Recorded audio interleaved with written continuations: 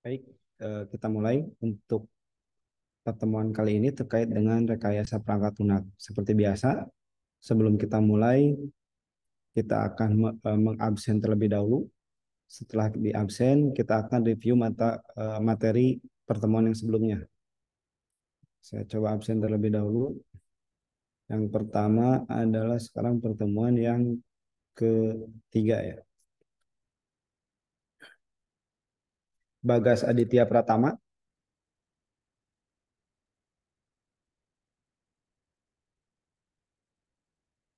Tidak ada. Bintang dia Abiyu Salam. Hadir, Pak. Bintang, ada bintang. Hadir, Pak. Dibuka ya kameranya ketika di absen. Nanti boleh ditutup lagi. Kemudian Devin Samuel Setiawan.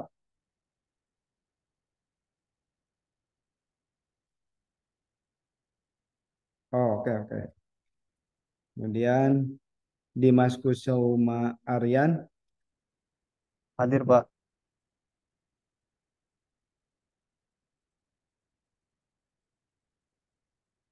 Dan Irfan Maulana. Ah, hadir, Pak. Uh, Halid Musdar. Hadir, Pak. Oke. Okay. Muhammad Raihan Al-Ghifari. Hadir, Pak. Muhammad Rizky Susanto. Uh, Rizik. Hadir, Pak. Oke. Okay. Renaldi Bagas Pangestu. Hadir, Pak. Oke, Usamah Putra Anggita.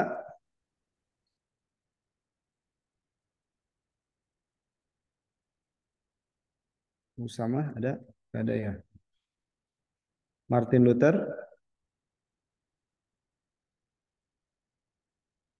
Tidak ada. Rifano Septiananta. Tidak ada. Dan yang reguler tadi karena Salman Al Farisi ada Salman Al Farisi.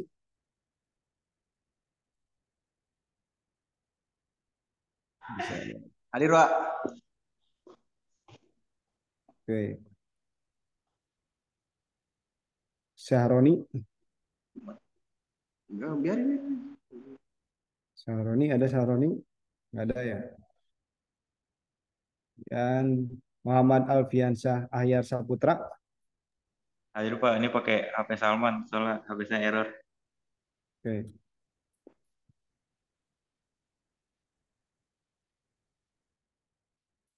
Baik, kita mulai perkuliahan kali ini masih terkait dengan uh, rekayasa perangkat lunak. Kemarin kita lebih banyak ke teori. Nah, sekarang kita coba implementasikan kita coba desain membuat desain apa namanya desain kasar lah terkait dengan RPL. Tapi sebelumnya saya coba review dulu pertemuan yang kemarin.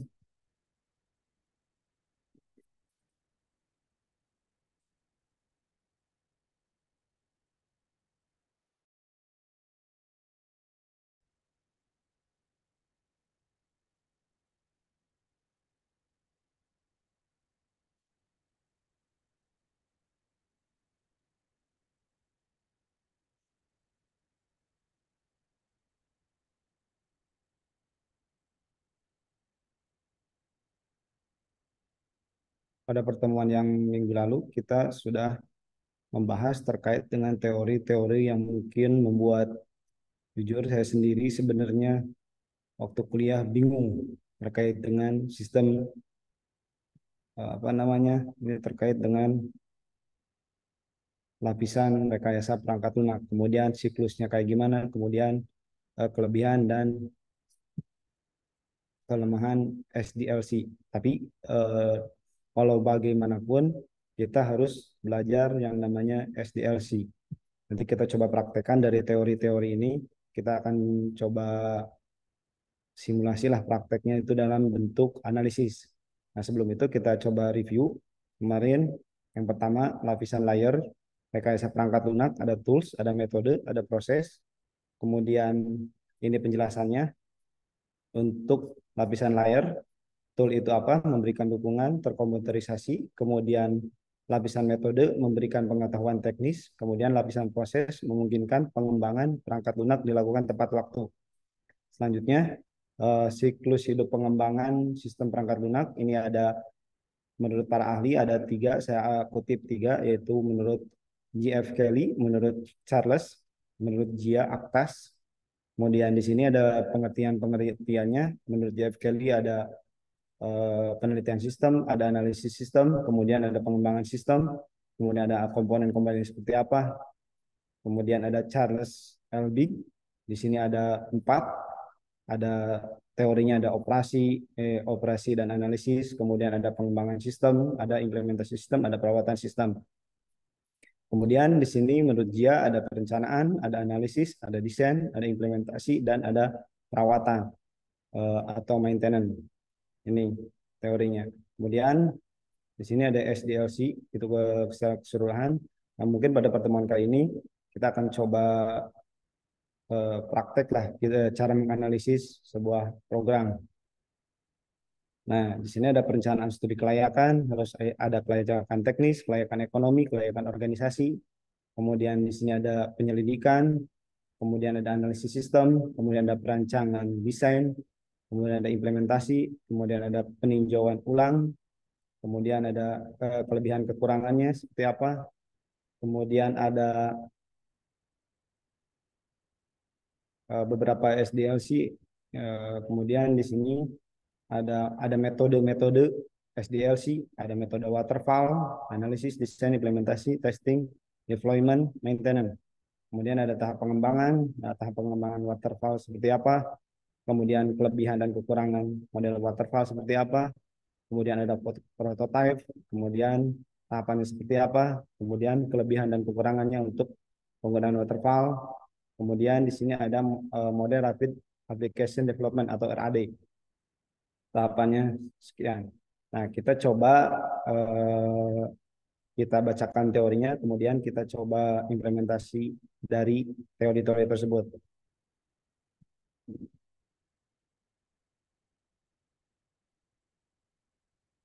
Lebih fokus ke SDLC, yaitu tahapan-tahapan pekerjaan uh, terstruktur dengan baik dilakukan oleh anak sistem, ya, yaitu tahapan-tahapan pembuatan sistem. Kita fokus ke situ. Bagaimanapun juga yang namanya kita sebagai orang IT pasti ditanya terkait dengan alur sistem. Nanti bisa jadi, eh, bisa jadi modal nanti ketika kita ngebuat TA, eh, tugas akhir atau skripsi.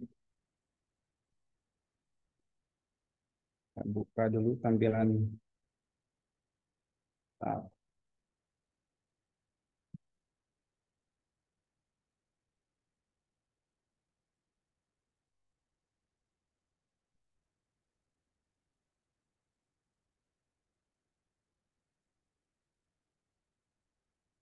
Nah, ini tahapan SDLC, yaitu komunikasi, requirement gathering, uh, feasibility study, kemudian sistem analis, uh, software design, coding, testing, integration, implementation, operating maintenance, kemudian disposition. Nah, di sini kalau menurut SDLC adalah tahap uh, intinya tahapan pembuatan sistem. Nah, di sini teorinya adalah communication. Eh, komunikasi merupakan tahap pertama untuk pengguna mengungkapkan keinginan-keinginannya atas eh, produk perangkat lunak atau pengguna menghubungi penyedia layanan melakukan negosiasi terkait beberapa hal penyampaian permintaan. Nah, kita tes dari teman-teman di sini ada yang terpikirkan bikin sistem apa, kita bahas bareng-bareng. Nah, di sini kita coba communication ceritanya di sini kita coba ada yang terpikir, oh saya nanti rencananya tugas akhir mau bikin bla bla bla. Nah, kita bahas coba nanti di sini. Salman atau Alfi atau yang lainnya terpikirkan bikin sistem secara gelondongan aja. Nanti kita bahas bareng-bareng. Ada? yang berencana bikin software atau emang bergerak di bidang apa namanya software eh, konsultan IT anggap aja berarti kita akan membuat eh, eh, apa namanya website. Kalau tidak ada maka lebih enak sih ada dari teman-teman idenya. Saya ingin buat aplikasi terkait dengan eh, penerimaan mahasiswa baru. Saya ingin punya aplikasi terkait dengan belanja online kayak Tokopedia. Nah kayak gitu-gitu. Ada nggak? Nah di sini bagian dari komunikasi ini saya tadi nanya nah anggap saja eh, teman-teman dari Irfan, contohnya Irfan mau bikin eh, apa namanya terkait dengan cerita contoh kasusnya dia itu punya sebuah yayasan yaitu yayasan pendidikan. Dia punya kampus. Nah di sini komunikasi dia punya kampus bingung caranya kayak gimana. Nah berarti sesudah eh, komunikasi kemudian requirement gathering pengumpulan persyaratan. Nah di sini eh, pengumpulan persyaratan adalah tahap awal dalam proses pengembangan perangkat lunak. Tahap ini fokus pada pengumpulan analisis dokumentasi kebutuhan persyaratan yang harus dipenuhi oleh sistem atau perangkat lunak yang dikembangkan. Tujuan utama dari requirement gathering adalah memahami dengan baik apa yang diharapkan oleh sistem dari sudut pandang pengguna atau pengampu kepentingan. Nah, dalam hal ini tadi saya bilang siapa ya? Irfan contohnya eh, butuh sistem terkait dengan yayasan pendidikan. Di antaranya yayasan pendidikan itu ada SD, SMP, SMA. Nah, di sini ada yang kedua adalah teknik pengumpulan data. Nah, di sini kan ada komunikasi. Tadi si orang tersebut intinya eh, baru punya yayasan, kemudian ada rekor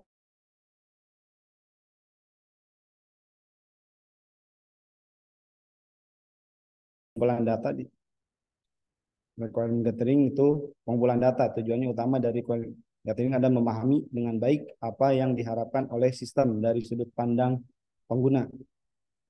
Nah, bisa dengan wawancara. Nah, saya tanya dulu contohnya ke Irfan contohnya. Dengan wawancara, Pak, Bapak butuhnya nah di nah di sini kan tahapan untuk mengisi datanya apa aja.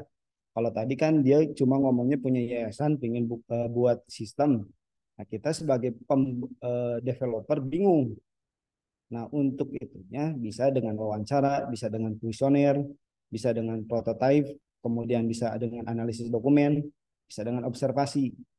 Nah, tahapannya kita coba dulu ini eh, contohnya kita kenal baik dengan eh, teman-teman dengan Irfan. Saya memposisikan sebagai konsultan IT. Jadi wawancara ke ke Irfan contohnya. Nah, kalau wawancara tinggal ditanya di sininya. Bapak kan tadi ngomongnya awalnya kan komunikasi. Komunikasi itu kan ada di sananya ada wawancara. Nah, wawancara Bapak pinginnya mau eh, yayasan Bapak mau bergerak di bidang apa? Kita coba sambil dilihat, sambil coret coret aja lah biar ada gambaran.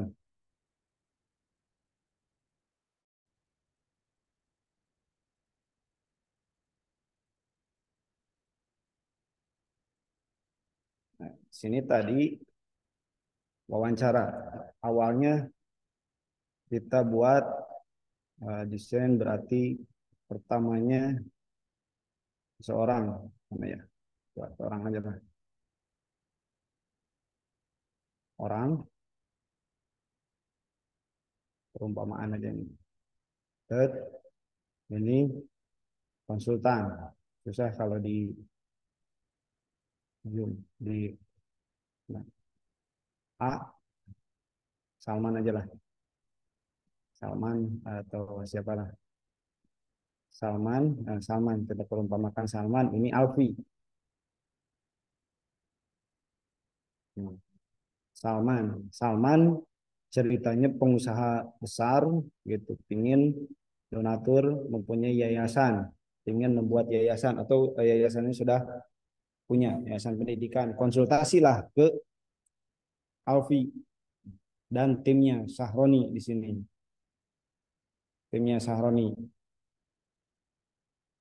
Nah, timnya Sahroni di sini secara teori jadi yang pertama adalah komunikasi. Nah, yang kedua adalah requirement gathering atau pengumpulan persyaratan. Nah, dalam tahap ini eh, Alfi Sahroni di sini Alfi eh, nanya wawancara wawancara Salman eh, kebutuhannya apa aja? Salman saya butuh eh, jadi dia itu cerita dulu. Yayasan itu terdiri dari beberapa bergerak di, bidang pendidikan. Contohnya ada pendidikan SMA dari mulai TK kemudian ada SMP eh, SD kemudian SMP kemudian yang keempat adalah SMA nah, ini setelah kita wawancara ke Salman uh, Alfi itu sebagai konsultan dan timnya Sahroni itu mendapatkan data jadi Salman itu mempunyai yayasan TK, SD, SMP, SMA.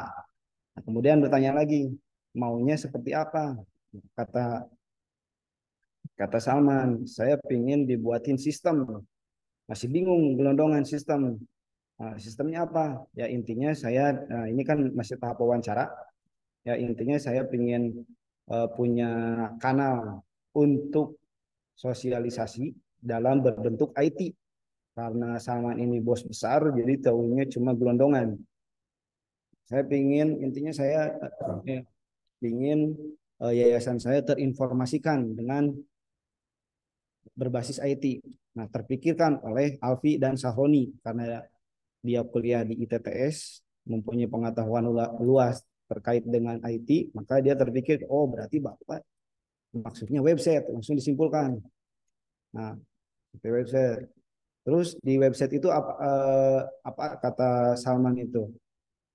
Yaitu tadi saya ingin ada informasi terkait eh, di website terkait dengan satu yang pertama contohnya ada informasi terkait SD. Kemudian yang kedua SMP, yang ketiga SMA, yang nah kemudian udah ketahuan nih datanya jadi intinya Salman ini ingin uh, mempunyai kanal informasi berbasis IT. Nah, disimpulkan bahwa uh, untuk uh, disimpulkan oleh Alfi dan Sahroni ini sebenarnya butuhnya website, tapi Salman nggak tahu maksudnya apa. Binginnya berbasis IT lah biar ngetren. SD di website. Nah, nah, setelah itu ditanya lagi di sininya. Tadi masih dengan wawancara, metode wawancara. Kemudian eh, ditanya lagi setelah ini apa aja, dilihatin lah contoh-contoh websitenya sama Alfi sama Saroni. Ini eh, ini bukan Pak maksudnya. Oh benar, dilihatin website yang ada SD SMA itu berarti bagian dari apa namanya observasi eh, prototype. Karena urutan dari teknik pengumpulan data itu bisa bersifat wawancara, bisa kuesioner, bisa prototyping, bisa analisis dokumen, bisa observasi, bisa uh, itu sampai observasi.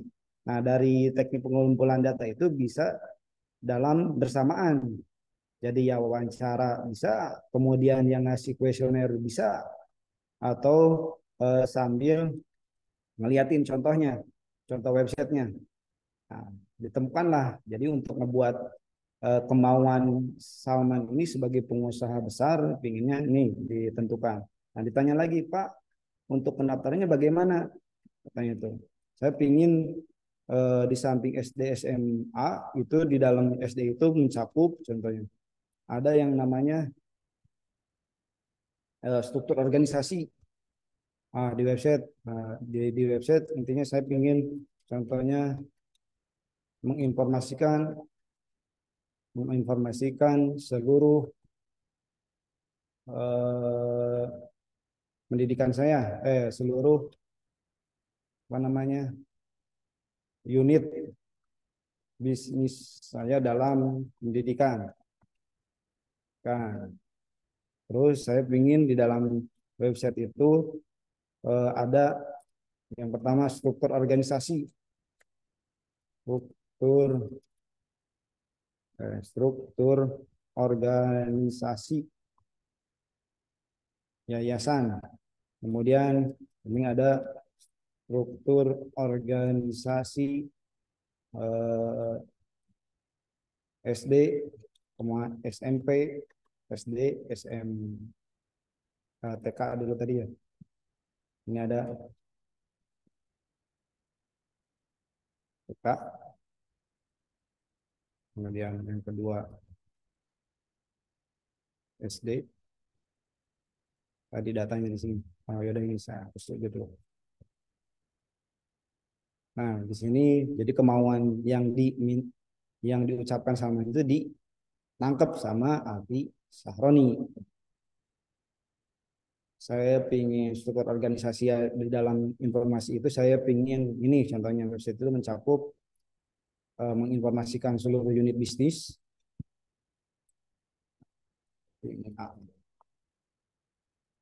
Dua, uh, dari mulai struktur organisasi yayasan, struktur organisasi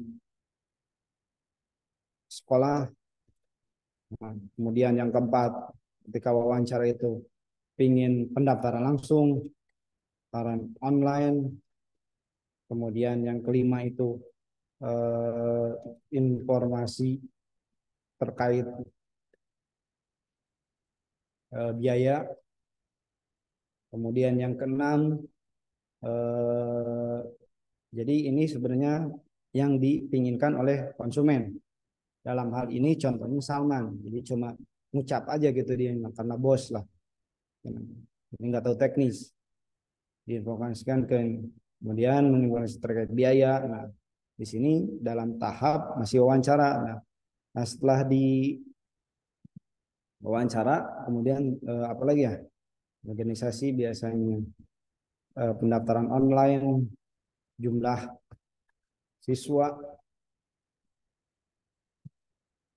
Di sini ada jumlah siswa. Nah, kurang lebih seperti ini aja dulu lah. Nah, setelah itu berarti ini kita masuk ke apa tadi teknik pengumpulan data eh, masuk ke bagian kedua. Tadi kan ada yang namanya komunikasi, masuk di komunikasi, kemudian masuk ke requirement gathering di pengumpulan data dengan cara di sini ada wawancara tadi wawancara di sini. Tadi kebutuhannya apa kemudian kuesioner. Nah bisa jadi di sini Pak kayaknya masih kurang jelas saya buat ini ya eh, kuesioner dalam bentuk eh, eh, kuesioner dalam bentuk form yang bisa diisi oleh Bapak. Bisa jadi nanti Alfi sama Saron itu bikin yang di di print apakah nanti bisa jadi di, di kuesionernya itu karena informasinya ini kurang dirasa kurang cukup? Nah dibuatlah kuesioner untuk menentukan uh, apa yang dibutuhkan oleh uh, sebenarnya apa yang dibutuhkan oleh si pengusaha ini sama nah di sini dibuatlah kuesioner di antaranya apakah jumlah uh, pegawai bapak ada seribu Hmm. Terus di sini nanti yang isi ini kuesioner ini diserahkan ke pengusaha atau konsumen. Kemudian di sini apakah hmm, apakah informasi tersebut informasi tersebut bisa diakses kapan pun di mana pun Nah, ini contoh-contoh pertanyaan yang disiapkan oleh uh, Alfi dan Sahroni kepada Salman. Gitu. Jadi sebenarnya ada ininya pertanyaan-pertanyaannya. Ini uh, contoh kecil aja. Kemudian, apakah uh, tadi jumlah pegawai ada seribu? Apakah uh, sistem? Apakah terus uh, apa namanya warna warna kesukaan. Jadi kalau kita nanya ini jumlah pegawai tujuannya apa? Berarti nanti kita untuk eh, menganalisis sebenarnya kita mau pakai apli, mau pakai software apa, terus mau pakai database apa. Oh, kalau ternyata dia cuma seribu, kita bisa menentukan, oh ini cukup pakai Excel aja. Terus di sini lagi pertanyaan, apakah informasi tersebut bisa diakses kapan pun dan di mana pun? Nah, eh, ketika jawabannya ya, maka berarti si apa namanya? Nah, aplikasi yang kita buat itu harus berbentuk website. Tapi kalau jawabannya tidak, berarti ya udah cukup eh, offline aja disimpan di laptop eh, sendirilah, diinstal diinstal di hardware-nya. Nah, di sini sudah kita masuk ke teknik kuesioner nih. Ke- kemudian prototyping. Nah, tadi kan saya coba sambil sambil liatin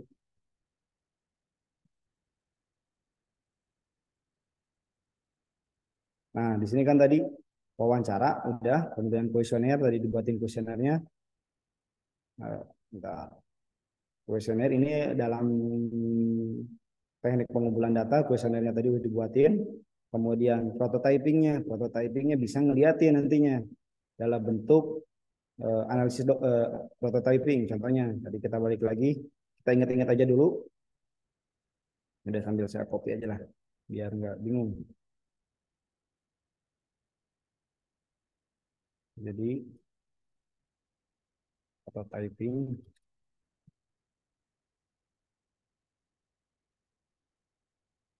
Hmm, kita coba dulu di di sini dulu. Prototyping saya kopas aja. Jadi tahapannya itu tadi teknik pengumpulan data bisa yang pertama adalah wawancara, yang kedua prototyping, eh kuesioner bisa kuesioner, prototyping, kemudian analisis dokumen. Ini teknik pengumpulan data. Jadi nulis dokumen, kemudian observasi. Nah, ini teknik pengumpulan data. Tadi kita udah di di sini. Coba copy dulu.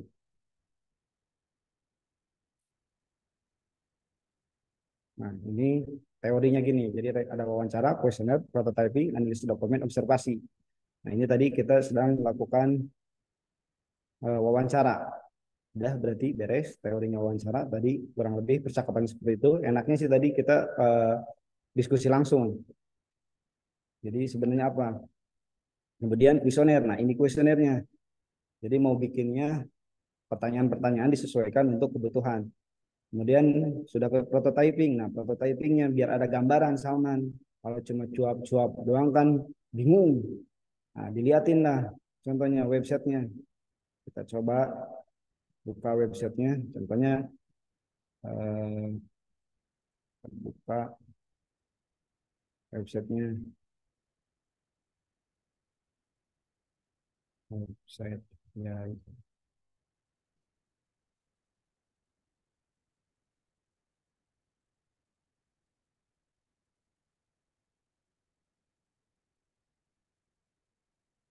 dalam tahap observasi. Coba masuk ke sini contohnya. Nah, jadi kita langsung demo aja lah.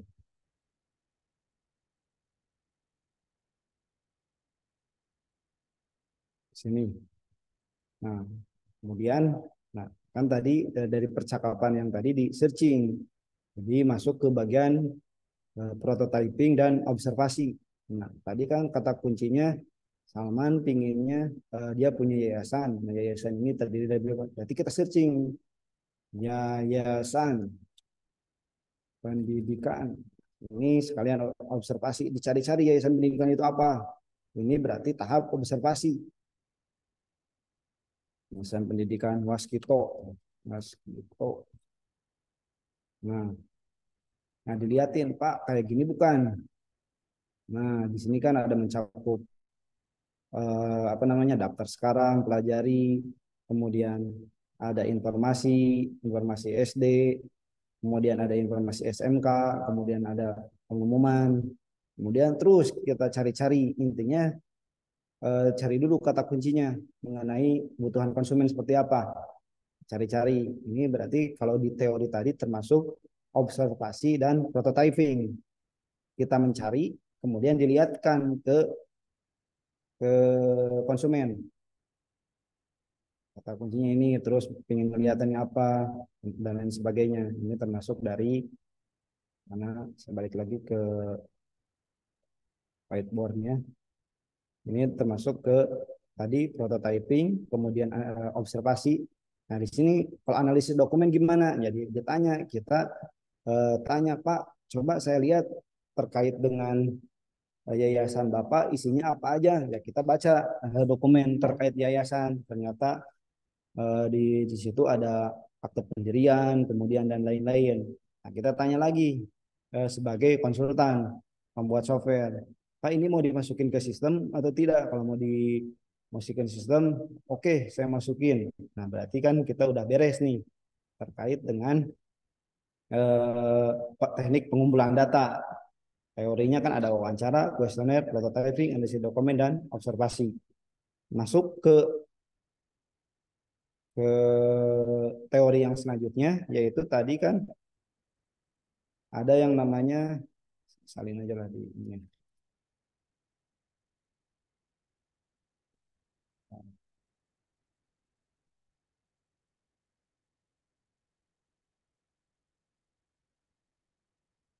Sini ada yang namanya eh, tadi dari dari urutan SL SDLC itu ada komunikasi, requirement gathering, eh, gathering itu pengumpulan data. Nah, selanjutnya ada yang namanya yang ketiga yaitu feasibility study. Nah, feasibility eh, study adalah sebuah proses evaluasi yang dilakukan untuk menentukan kelayakan atau kemungkinan sebuah proyek atau usaha. Nah, studi kelayakan biasanya dilakukan sebelum memulai proyek. Biar ada gambaran saya buka aja dulu ya. Ininya.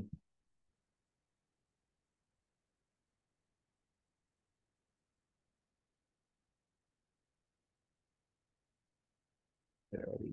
Jadi apa-apalah bolak-balik yang penting dimengerti. Nah.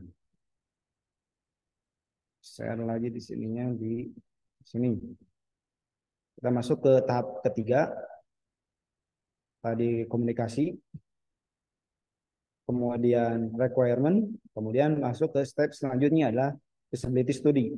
Nah, feasibility study, nah di sini adalah tujuan lain dari studi kelayakan tersentum di bawah ini untuk menganalisis apakah perangkat lunak akan memenuhi persyaratan organisasi untuk menentukan apakah perangkat lunak dapat diimplementasikan menggunakan teknologi saat ini, kemudian untuk menentukan apakah perangkat lunak yang dapat diintegrasikan dengan perangkat lunak lainnya. Nah, tadi masuk ke eh, evaluasi yang dilakukan. Kita tadi sudah mengumpulkan data, intinya yayasan, eh, contohnya yayasan pendidikan, itu ada SD, SMP, SMA, kemudian kita sudah membuat kuesioner. Nah, sekarang kita menentukan uh, studi kelayakan. Kita cek kelayakan teknis dan di, ke, pada materi sebelumnya kita sudah membahas terkait kelayakan teknis, tapi kan itu kan teori. Nah, tekniknya eh, teo, prakteknya kayak gimana? Ini kelayakan teknis, ini kelayakan operasional, ini kelayakan ekonomis. Teorinya kayak gini. Kelayakan teknis yaitu menganalisa keterampilan dan kemampuan teknis anggota tim. Kemudian menentukan apakah teknologi yang ada masih stabil dan mapan. Kemudian memastikan bahwa teknologi yang dipilih dalam pengembangan perangkat lunak memiliki sejumlah besar eh, sehingga eh, sehingga mana tadi sehingga dapat dikonsultasikan ketika masalah muncul. Ini kelayakan teknis. Kemudian ada kelayakan operasional, menilai sejauh mana perangkat lunak yang diperlukan untuk melakukan serangkaian langkah yang memecahkan masalah bisnis tim pengembangan perangkat lunak dan menunjukkan secara visual apakah perangkat lunak yang beroperasi setelah dikembangkan dapat beroperasi secara diinstal. Kemudian kelayakan operasional, masih kelayakan tadi operasional. Nah, untuk kelayakan operasional menentukan apakah masalah yang paling prioritas. Ini teori-teorinya kita bahas satu persatu, yaitu kelayakan teknis.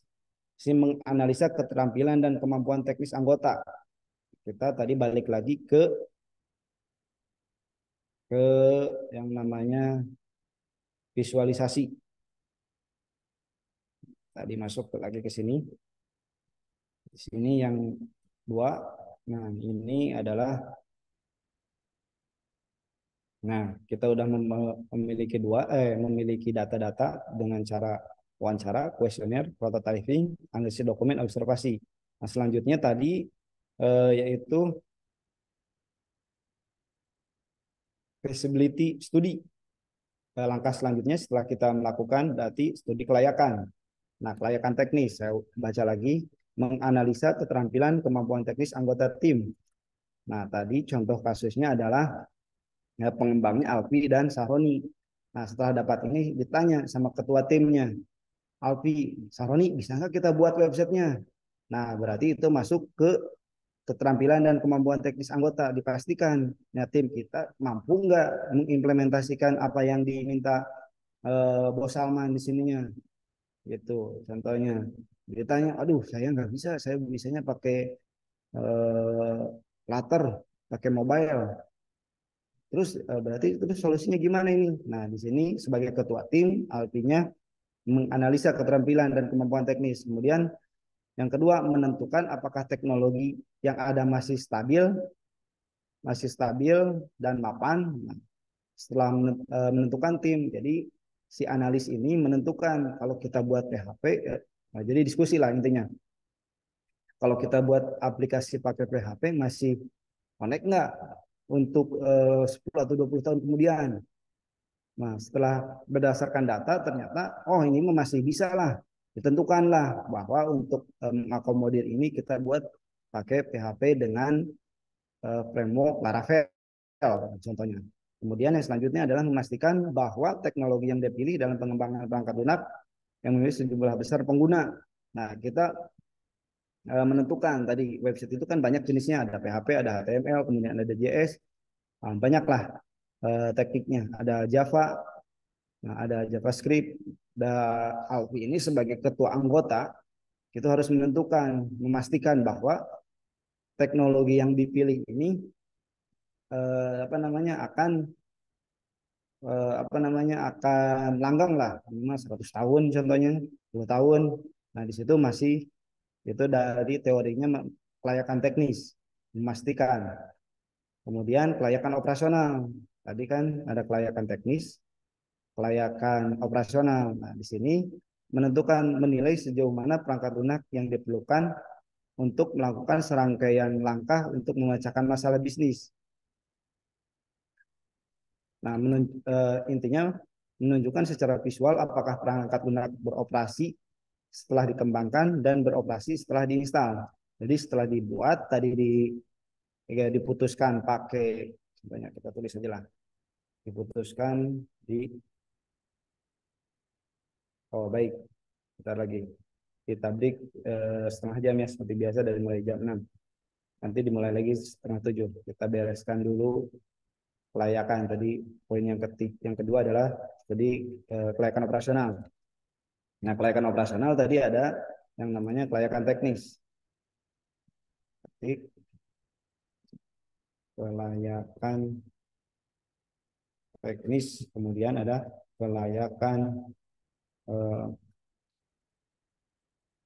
operasional, operasional. Kemudian ada kelayakan ekonomi. Nah, tadi ini untuk Eh, teori itu ada kelayakan teknis nah, kelayakan teknis tadi yaitu menentukan uh, menganalisa se sebuah uh, seorang ketua tim harus menganalisis kemampuan teknis anggotanya mampu nggak dibuatin kemudian kelayakan operasional kelayakan operasional yaitu melakukan tugas menentukan apakah masalah yang paling tinggi prioritasnya sehingga dapat diantisipasi dengan persyaratan pengguna. Yang kedua adalah menentukan apakah solusi yang disarankan oleh tim pengembang perangkat lunak dapat diterima. Kemudian analisis apakah pengguna akan mampu beradaptasi dengan perangkat lunak yang baru. Yang keempat adalah menentukan apakah organisasi puas dengan solusi. Nah, tadi kan di sini udah ditentukan sama Alfi sebagai ketua tim analisnya. Eh, di, di, ternyata kita menggunakan tik di pas di setelah dicek berbasis website berbasis web kemudian menggunakan PHP kemudian frameworknya Laravel kemudian database-nya MySQL. Nah ini hasil eh, muncul seperti ini karena tadi apa namanya hmm, berdasarkan data yang didapat dari konsumen. Pada basis PHP eh, berbasis web ya terus kemudian eh, recording yang menggunakan PHP PHP-nya eh, menggunakan framework Laravel kemudian database-nya MySQL nah setelah itu itu kelayakan teknis nah kemudian kelayakan operasional nah kelayakan operasional apakah masalah yang paling tinggi menentukan apakah solusi yang disarankan oleh tim pengembang perangkat lunak dapat diterima. Nah, setelah didiskusikan di internal di sini. Nah, kemudian didiskusikan ke pengguna. Pak eh, Pak Salman ternyata Bapak butuhnya eh, pakai website. Saya buatin pakai PHP menggunakan eh, framework Laravel, kemudian database-nya menggunakan MySQL kata Alvin ke Salman. Nah, tipe-tipe user itu banyak. Ada yang mengerti teknis, ada yang nggak mengerti. Nah, kalau si usernya mengerti teknis, ya kita bilangin seperti ini. Tapi kalau nggak ngerti teknis, nggak tahu itu apa PHP, apa itu Laravel, apa itu MySQL, berarti eh, langkah kita sebagai konsultan IT ngeliatin, Pak, seperti ini, dilihatin websitenya nggak perlu ngomong ini berbasis web, nggak perlu. Jadi tinggal liatin aja HP-nya. Pak kurang lebih gambarnya seperti ini. Nah, gitu kalau kepada orang yang awam terkait dengan eh, teknologi. Jadi kalau lihat dulu orangnya yang diajak ngomong. Kalau kira-kira dia itu ngerti, kita omongin teknis. Kalau nggak ngerti, percuma. Apa itu PHP? Apa itu Laravel? Bingung seorangnya. Itu masuk ke dalam teori kelayakan operasional, analisis. Terus setelah dilihatin, Pak saya lihatin ini, cara ngaksesnya gimana? Nah, si dipastikan si user itu bisa uh, paham apa yang kita buat. Nah, nanti si Alfi ini ngasih tahu Pak untuk mengakses informasi ini Bapak buka browser di internet itu itu kan di HP ada yang namanya Google Chrome kadang bingung itu Google Chrome itu apa itu Pak yang ada gambar ininya nanti tinggal didemo, uh, didemokan ke orang tersebut misalnya contohnya dibuka browsernya nanti buka alamatnya sekian www ini kurang lebih nanti tampilan seperti itu. Nah, kalau udah setujui, baru kita ke tahap selanjutnya. Tadi operasional, kemudian apakah organisasi puas dengan solusi alternatif. Nah, tadi dikasih tahu solusinya lewat ini. Oh yaudah, saya puas. Kata ya udah saya buatin seperti ini aja. Nah, puas berarti masuk ke layakan ekonomi. Nah, semenit lagi nanti. Nah, kelayakan ekonomi yaitu biaya yang dikeluarkan dalam proses pengembangan. Nah, biaya biaya yang diperlukan untuk melakukan penelitian, biaya pengadaan perangkat keras. Nah, setelah tadi dia kemauannya eh, sekian, baru kita ngomongin biaya. Nah, di sini kelayakan ekonomi.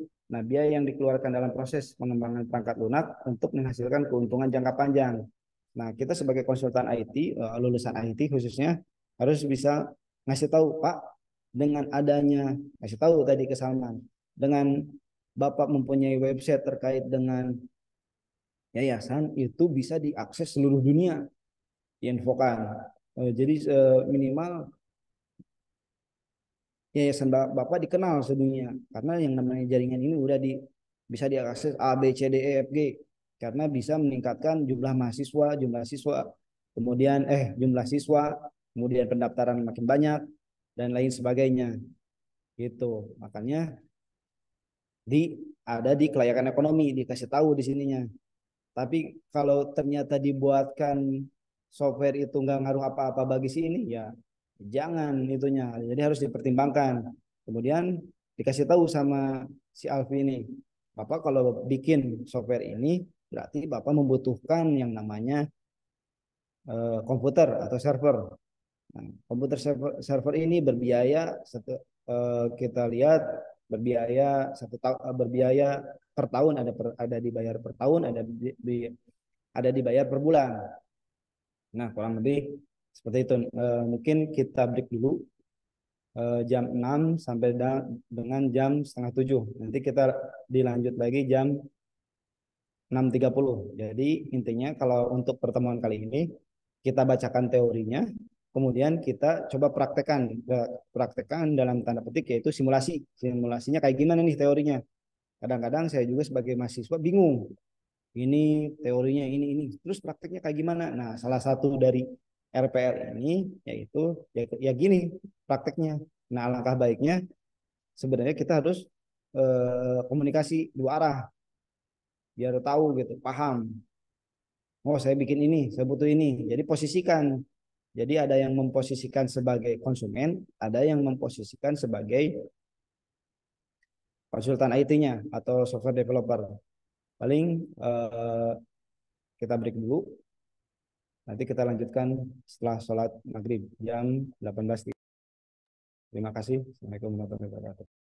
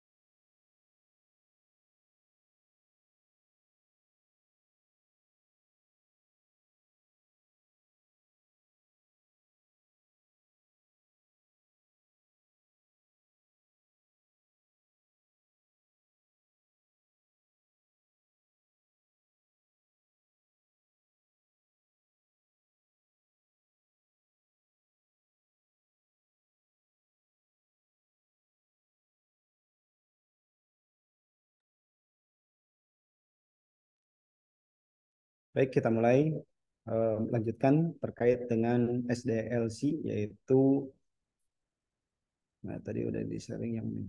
Nah, yang ini terkait dengan tadi sampai mana ya teorinya. Coba dulu lihat.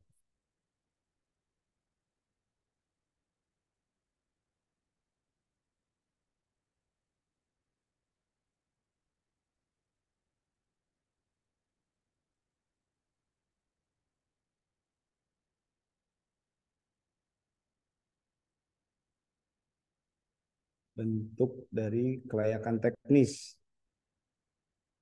Nah, di sini kelayakan teknis yaitu ada eh, nah ya. Coba cek dulu. Kelayakan teknis menganalisa keterampilan kemampuan tadi sudah di sini menganalisa eh, yang kedua.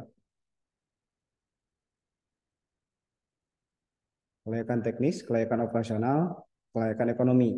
Nah, kelayakan teknis tadi teorinya yaitu menganalisa keterampilan dan kemampuan teknis anggota tim. Nah, tadi kita contohkan Salman sebagai eh, pengusaha, Alfi dan Sahroni sebagai konsultan IT yang menerjemahkan apa yang diminta oleh eh, Salman diterjemahkan ke dalam bahasa IT. Di situ tadi sudah ke tahap yang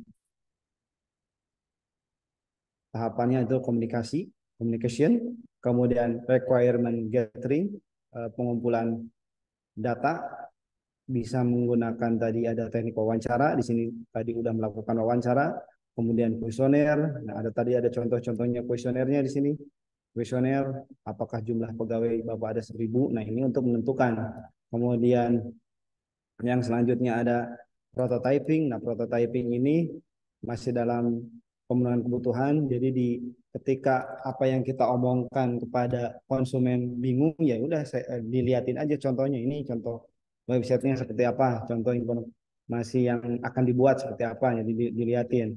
Kemudian di situ ada observasi. Nah, observasi ini kita cari-cari terkait tadi contohnya yayasan.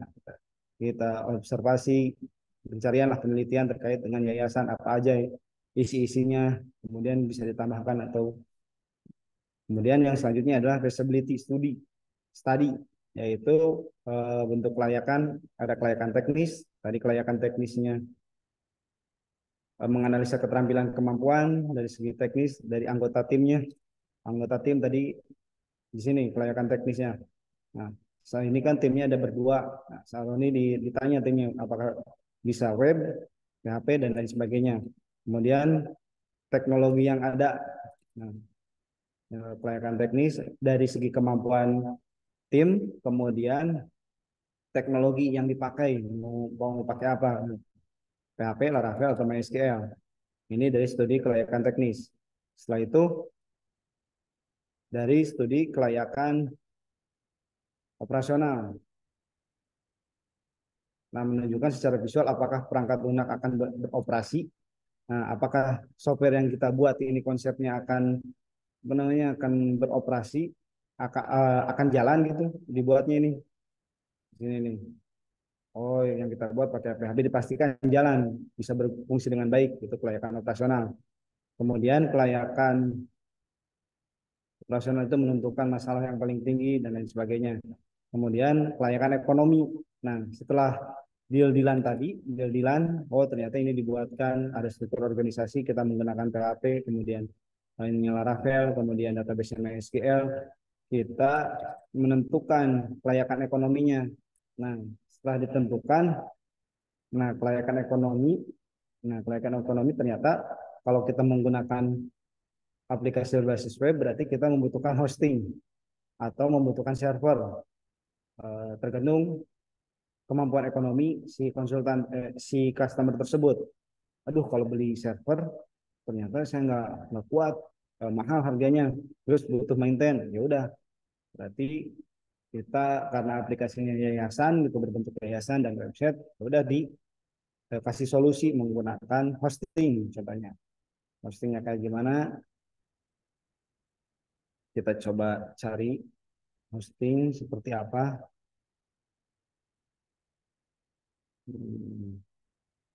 hosting berarti kita coba ditanya ini kan langsung praktek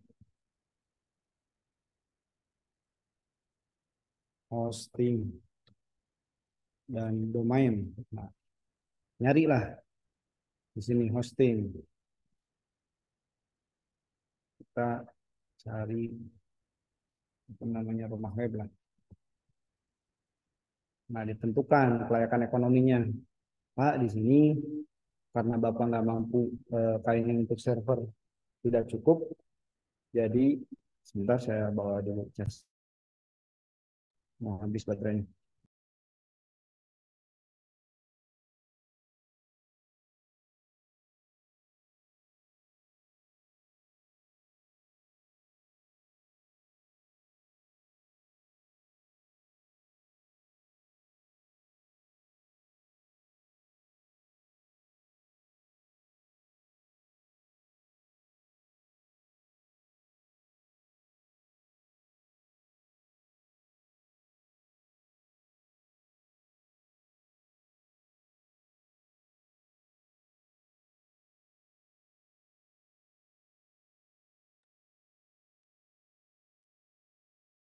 Karena berbasis web ya kita nyari itu terkait hosting. Didapatlah contohnya bukan saya promosi inilah rumah web yang ditawarkan.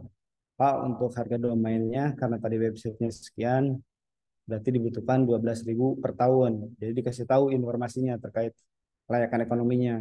Kalau per bulan ini di harga 15.000 per bulan. Itu untuk namanya contohnya yayasan samanalfarisi.com berarti itu masuknya ke nama domain ini domain. Kita coba cek dulu pak di sini. Yayasan alfarisi dot alfarisi dot com. Kasih tahu ini.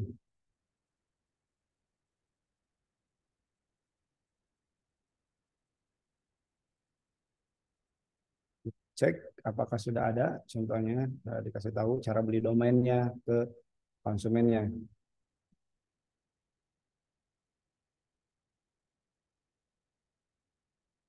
Sedang memeriksa. Nah, nanti di website ini contohnya domain di sini nanti dicek ini apakah yayasan alfarisi.com ini udah ada atau belum. Ini contohnya karena kelamaan lah. Itu baru sekedar nama.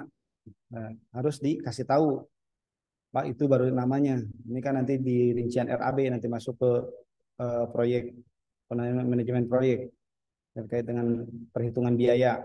Jadi dikasih tahu dulu. Kemudian ini ada yang namanya hosting. Hosting itu ibaratnya tempatnya. Kalau tadi eh, domain itu namanya yayasan alfarisi.com Nah, biar bisa diakses di internet, maka kita harus beli namanya domain, dikasih tahu penjelasan ke Salman. Nah, untuk aplikasinya tersendiri, nah aplikasinya sendiri kan Bapak e, nyuruh e, mengkonsultankan ke saya. Nah, itu kan dalam bentuk file. Nah, file itu harus disimpan. Disimpannya di mana? Itu di internet, di hosting namanya. Nah, dikasih tahu. Karena contohnya pas kita buat hanya eh, cuma 100 mega lah aplikasi yang pernah buat. Berarti kita lihat kelayakan ekonominya. Ini untuk dua berarti ini 9 ah yaudah saya paket small aja yang 18.000 penentuan lah. Ini ditentukan berdasarkan kelayakan ekonomi dan kemampuan si konsumen. Balik lagi masuk ke tadi ke whiteboard kelayakan ekonomi. Nah, selanjutnya ke teori yang tadi apa namanya kelayakan ekonomi masuk ke tahap selanjutnya yaitu sistem analis. Nah, tadi kan coba bolak-balik lah.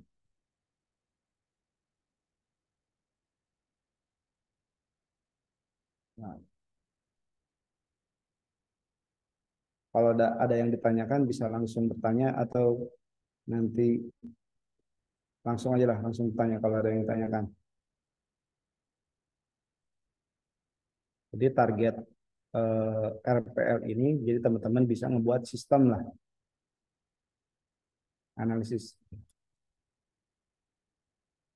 Nah, kita tadi komunikasi, requirement, yaitu kebutuhan, feasibility study, yaitu tadi kelayakan, dari kelayakan teknis, kelayakan operasional, kelayakan ekonomi. Tadi udah saya simulasikan gimana caranya, prakteknya. Kemudian tadi kelayakan operasional, apakah solusi yang disarankan oleh tim pengembang perangkat lunak dapat diterima. Ini, kan teorinya susah sebenarnya. Kalau baca kok teori tanpa ada perumpamaan lah. Rupanya kayak gimana ininya. Ya. Makanya saya tadi buat uh, ilustrasinya. Layakan ekonomi, kemudian dampaknya di sini. Ini dari dampak dari kelayakan ekonomi di, dikasih tahu ininya dampak peralatannya Pak kalau tadi ada nggak Nah kalau tadi Bapak uh, menggunakan hosting contohnya Bapak nggak usah mikirin alat karena kita udah nyewa. Kemudian kalau Bapak beli software, uh, hardware, maka uh, itu uh, harus dimaintain. Terus ada standarnya dan lain lain sebagainya. Itu kita sebagai konsultan IT harus kasih tahu ke Salman tadi ke konsumen dampak uh, perbedaan beli atau sewa. Kemudian nah dikasih tahu aplikasi yang kita buat Nah, aplikasi yang kita buat adalah berbasis PHP, kemudian menggunakan perangkat, eh, menggunakan framework Laravel atau apa pun itu, kemudian database menggunakan MySQL, kemudian eh, untuk kelanjutannya apabila datanya udah banyak, bisa menggunakan Postgre atau Oracle dan lain sebagainya. Dikasih tahu dampaknya. Kemudian dampak organisasinya dikasih tahu lagi sama tadi eh, sempat disinggung. Jadi kalau Bapak udah mempunyai website, otomatis eh, yayasan Bapak bisa diakses di mana pun sedunia yang terhubung ke internet. Kemudian dikasih tahu lah intinya. Kemudian ke tahap selanjutnya adalah analis, sistem analis. Nah, di sini tadi communication, requirement, visibility, sistem analis. Nah, sistem analis teorinya seperti apa kita bacakan dulu. Nah, sistem analis pada tahapan ini pengembang menetapkan sebuah roadmap dari perencanaannya dan mencoba untuk menciptakan model perangkat lunak terbaik yang cocok untuk proyek tersebut. Tahapan analisis ini mencakup pemahaman terhadap keterbatasan produk, eh, keterbatasan produk perangkat lunak, mempelajari masalah yang terkait dengan sistem, identifikasi dan eh, mendapatkan dampak dari proyek organisasi. Nah, tim proyek melakukan analisis analisa terhadap cakup, cakupan lingkup proyek, rencana, jadwal dan sumber. Nah, ini bagian dari sistem analis. Kita uh, lihat lagi ke ilustrasi tadi.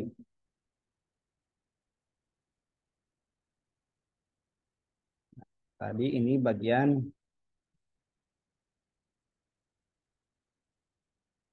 bagian uh, sistem analis. Kemudian sekarang masuk ke sistem analis, yaitu tadi secara teori uh, menetapkan sebuah roadmap. Nah, dari data-data ini kemudian sistem analis kita ketik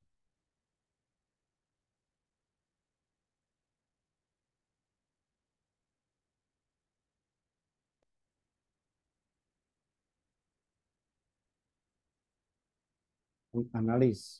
Nah, sistem analis tadi teorinya adalah menetapkan proyek. Nah, Tadi kan udah komunikasi secara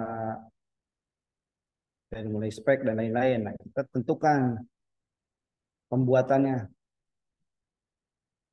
Analis proyek. Ya udah Pak, kapan mau dipakainya? Nah, datang bagian sistem analis.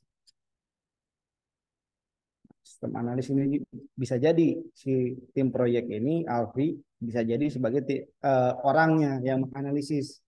Nah, di sini langsung ditentukan uh, Pak ternyata untuk membuat website ini diperlukan waktu selama satu bulan. Contohnya, nanti ada pembahasan tersendiri terkait penentuan hmm, proyek ini. Ini secara gambaran besar. untuk membuat spek aplikasi website dengan seluruh organisasi dan dibuat menggunakan PHP, Laravel, dan kita menggunakan resource pegawai lima orang dibutuhkan waktu selama tiga bulan katanya. Tiga bulan untuk pembuatan. Terus tahap pertama satu bulan pertama. Contohnya tiga bulan itu satu bulan pertama saya akan observasi observasi data.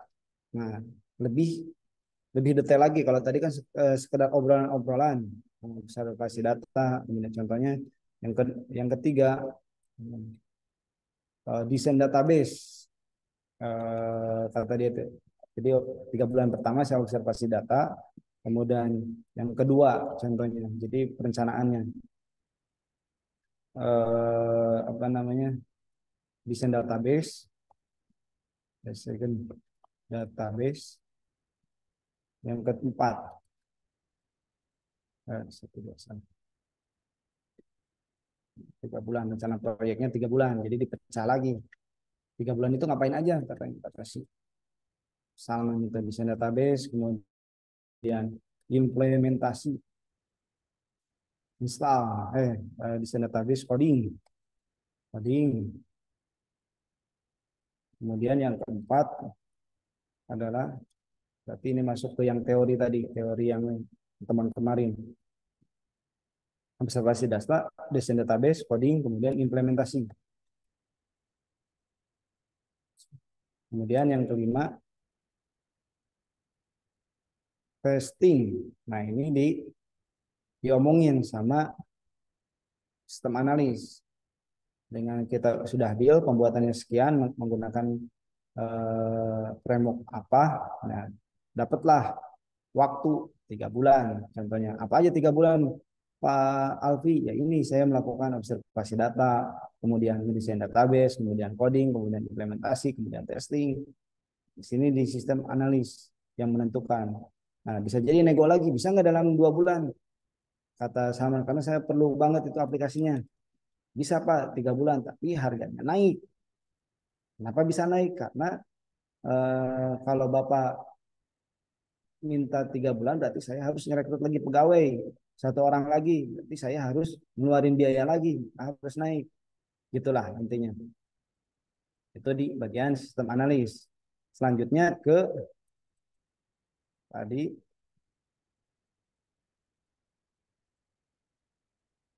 Ya?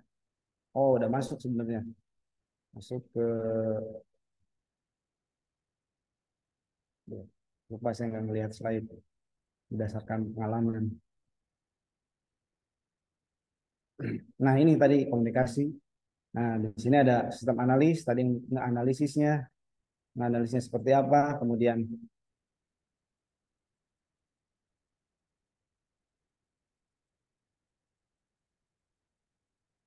coding, testing, kemudian yang terakhir adalah tadi sistem analis. Mana sistem analis? Eh, tadi kerjanya seperti itu. Jadi intinya kalau sistem analis menentukan menentukan eh, siapa yang ngerjain, waktunya kapan, dan lain sebagainya. Dirincikan sama sistem analis. Nah, setelah sistem analis, di sini ada software design.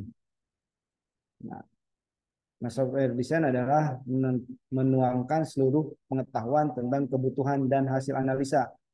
Nah, software design. Jadi, tadi itu saya ulang lagi, sistem analis menentukan kerjaannya dari tiga bulan itu ngapain aja. Nah di sini praktek uh, ngasih tahu uh, software design gambarnya. Setelah ditentukan analisisnya ya, di, desain softwarenya. Sudah didesain kemudian nanti masuk sebenarnya masuk ke metodenya. Metodenya kan banyak uh, sebelumnya metode-metode dalam pembuatan sistem uh, eh, SDLC, ada waterfall yang lain-lain. Di sini software design, kemudian di coding, kemudian di testing, kemudian integration. Nah, sebenarnya biasanya di sini nih yang suka bolak-balik. Pengalaman saya ini di sini nih.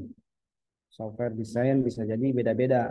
Nah, analis lagi bisa jadi udah di desain softwarenya balik lagi dianalisis lagi, kemudian udah dianalisis, di coding lagi, udah di coding, di testing, di testing bisa jadi balik lagi di sini coding. Gitu. Itu kan ada metode-metodenya sebenarnya. Kita menggunakan metode mana tergantung ya di lapangan seperti apa.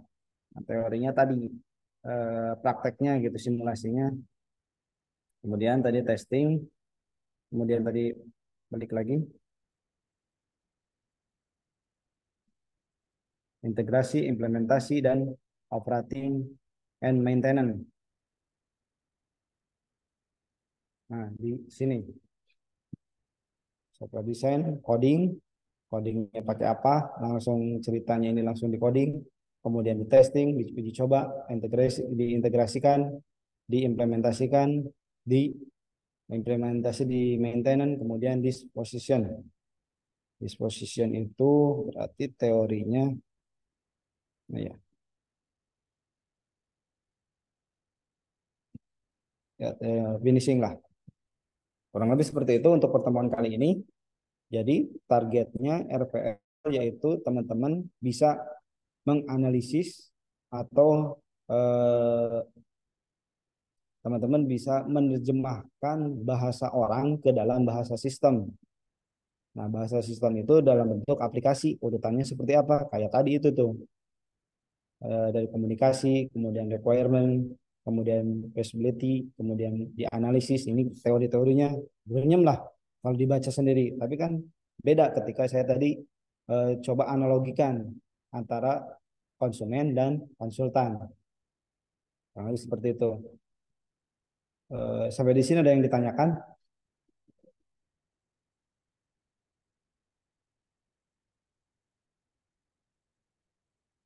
Kalau tidak ada yang ditanyakan, mungkin saya absen lagi.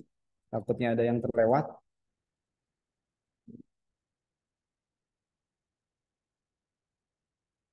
Tadi yang tidak masuk adalah Sahroni untuk kelas reguler tadi. Kemudian yang kedua adalah Bagas.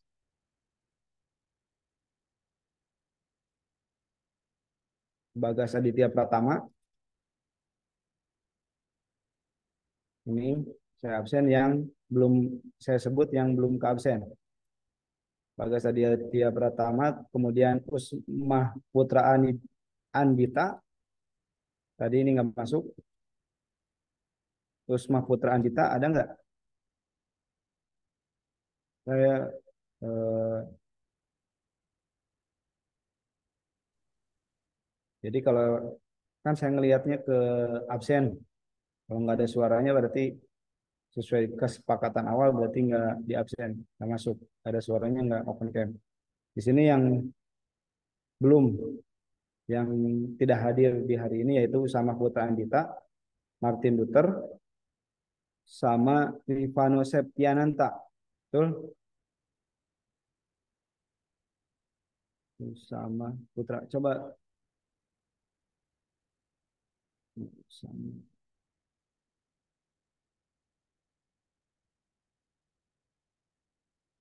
Bagas. Bagas berarti ini tadi. Oke. Ada keterangan Bagas. Kemudian Usama Putra Andita ada nggak suaranya?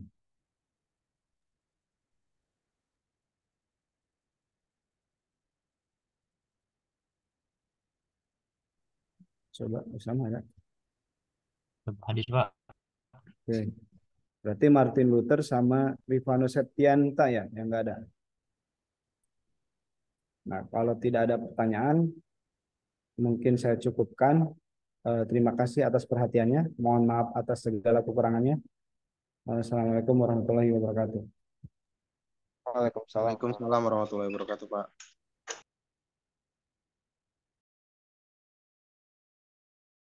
Terima kasih Pak.